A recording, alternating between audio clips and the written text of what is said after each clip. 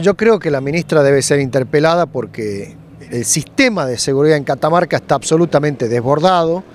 Han incrementado notablemente en los últimos días los arrebatos, los asaltos, los robos a la propiedad, eh, el narcotráfico. ¿Cómo puede ser, me decía alguien ligado a la fuerza policial con un alto grado de profesionalismo, que no haya hecho inteligencia el Ministerio de Seguridad sobre la ambulancia que venía en clave roja de Salta, a un sanatorio de acá con 45 kilos de droga, de cocaína, eh, y que pueda venir en clave roja desde, con un supuesto traslado de un enfermo grave, desde Salta Catamarca, cuando en Salta tienen una complejidad sanitaria quizás superior a la nuestra, o cuando en todo caso podría haber llegado hasta Tucumán pero de Salta a Catamarca no tenía ninguna lógica y tendría que haber sido analizado por la inteligencia del Ministerio de Seguridad. No, lo hicieron.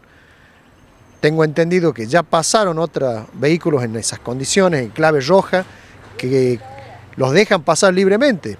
Simplemente sucedió que esta gente venía tomando, habían desconectado la sirena y por eso los pararon y cuando los pararon quisieron explicar, se pusieron nerviosos y ahí lo, los detectan. Pero así ya vienen pasando mucho. Yo me pregunto, ¿esto pasó también alguna vez con el avión sanitario?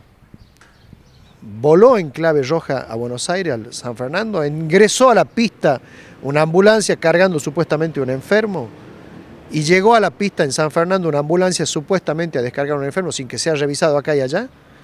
Bueno, son todas preguntas que le quiero hacer a la ministra acá, porque acá en el asalto del Parque América hay gente ligada al poder político muy cercana, caso concreto Camilo Carrizo, hermano del intendente Enzo Carrizo de Saugil, y primo de la ministra de Seguridad.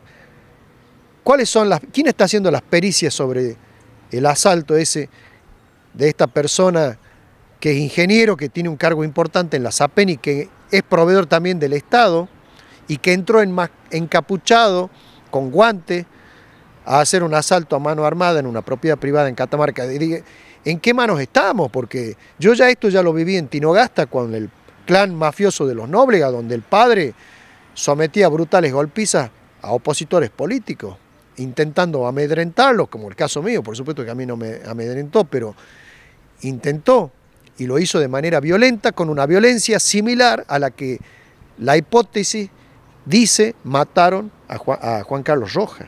Entonces, todas estas cosas son graves porque son hechos a donde se ve violencia, se ve impunidad y se ve gente que está ligada al poder político, que ya se ponen la capucha y salen con, de caño, como se dice en la jerga tumbera, a entrar y a asaltar la propiedad privada y a dejar maniatados a los que viven adentro de una vivienda. Diputado, ¿cree que además de investigarse este hecho policial, se debe investigar el origen de los fondos que estas personas presuntamente habrían invertido con, con Rolón Reynoso? No solo con Rolón, creo que hay un listado de lo que invertían en Bachani, creo que figura Carrizo, los niveles de vida que tenían, plata de dónde depositaban, a dónde estaba el hermano, tenía manejos de fondo. Todas estas cuestiones las tienen que investigar, pero evidentemente que la justicia pareciera ser que está direccionada en este sentido, al no haber aceptado la justicia provincial investigar la causa de las financieras y de las estafas piramidales, cosa que a mí me parece mal. Y también veo claramente de que acá eh, va a haber impunidad si la ministra de Seguridad, es la que tiene que hacer las pericias del asalto, y es pariente directa, y tiene el hermano que es intendente, entonces eh, todas estas cuestiones se las quiero preguntar acá en el recinto. ¿Cree que pueda prosperar? Por último le consulto esto, teniendo en cuenta que el oficialismo es amplia mayoría en la Cámara.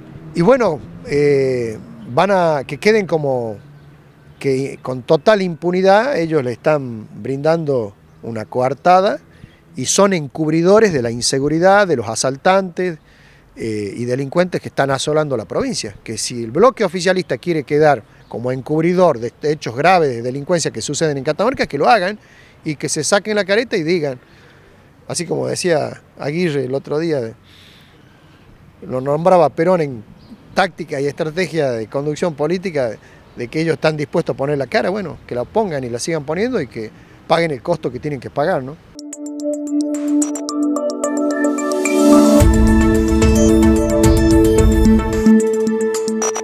Ahora en Crédito Argentino podés tener todo lo que querés al toque. Esa moto refachera que viste el otro día, la compu que siempre quisiste y ese viajecito que venís pateando hace mil. Dale, llévalo en cuotas fijas. Entra a créditoargentino.com.ar o te esperamos en nuestras sucursales.